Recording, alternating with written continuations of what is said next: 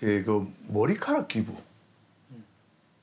그러니까 암 투병하면 머리가 다 빠지잖아요. 음. 그 미국의 유명 스포츠 야구 선수들 아들인가 딸인가 이렇게 암 투병 때문에 머리가 다 빠졌어요. 음. 그 구단 전 선수들이 전부 다 삭발을 했어요. 맞을 것 같아. 어? 나, 나 아니 안 근데 이. 이. 지금 문제의 핵심은 아픈 아들을 간호하는 아버지를 위해서 기부한 거냐. 아버지. 음. 그 저는 이런 생각이 들었어요. 대개는 아이들이 아프면 부모님들이 직장 생활을 온전히 하기가 어려워요. 응. 왜냐면 아이들 돌아가면서 간호해야 되니까. 그렇지. 엄마가 있든 아빠가 있든 붙어 있어야 되는데 그래서 직장 동료들이 근무 시간을 기부한 거예요.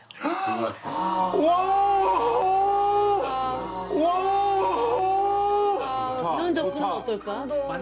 예를 들어서 뭐 주 뭐 우리 우리가 따지면 뭐한50 시간씩 더 하는 거야. 내가 두 시간을 더 근무한 거는 마티 아버지를 위해서. 와 이거는 정답이 아니어도 진짜 이거는 어, 이런 건 어떨까? 누나 그런 정답인 것 같다. 정, 정답이 아니어도 정답이 오늘 진짜 아니어도 누나 고급스럽다. 이거는 어, 어, 어제 고급졌나요? 역시 고급졌나요? 역시.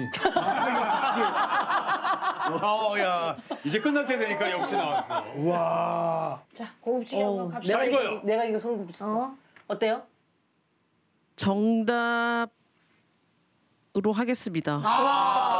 아니 정답 그러면 정확한 건 정확한 뭐예요? 답은 뭐예요?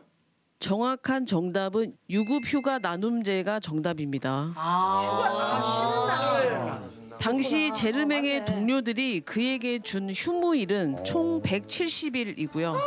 덕분에 아들을 마지막까지 가까이서 보살필 수 있었던 그는 마티가 세상을 떠난 후 자신이 받은 만큼 사회에 돌려주기로 결심했는데요. 어. 그는 아픈 자녀를 둔 동료에게 자신의 유급 휴가를 기부하는 캠페인을 시작했고 음. 그 결과 2014년 아들의 이름을 딴 유급 휴가 나눔제 마티법이 생겼다고 합니다. 최근에는 국내에도 금융권과 공공기관을 중심으로 사내 재